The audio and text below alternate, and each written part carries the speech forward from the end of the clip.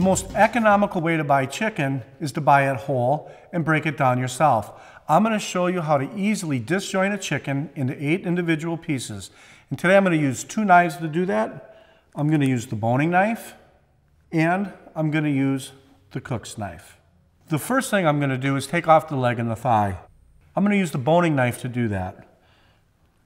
First, we want to cut just a little slit in the skin so we can see down inside. I'm going to take these two fingers, put it under the thigh bone. I'm going to bend up and pop that hip joint right out of socket. Now I've got a nice clear line right here to separate the thigh and the leg from the carcass without having to cut through any bone.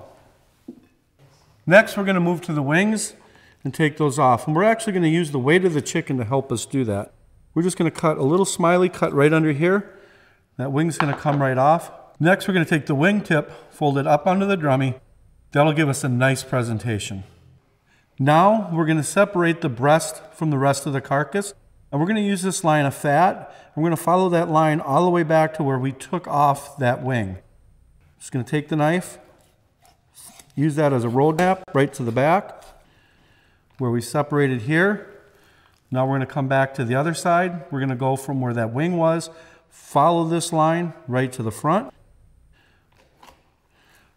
Once we have that separated, we're just going to grab the breast, we're going to pull back, and we're just going to separate it from the backbone. Now to separate the breasts. We're going to flip this over. This is where I'm going to use the cook's knife. I'm going to pop it right down in here to cut through Nice and easy down. Pull back through. Now I've separated the breast into two equal pieces. You could leave the leg and the thigh quartered. I'm going to break them down even further. To do this, I'm going to use the boning knife. I'm going to use my finger to feel where that joint is. We want to separate bones. I'm just going to go here, go straight down. So we're going to take the skin here, pull it over to give it a nice presentation.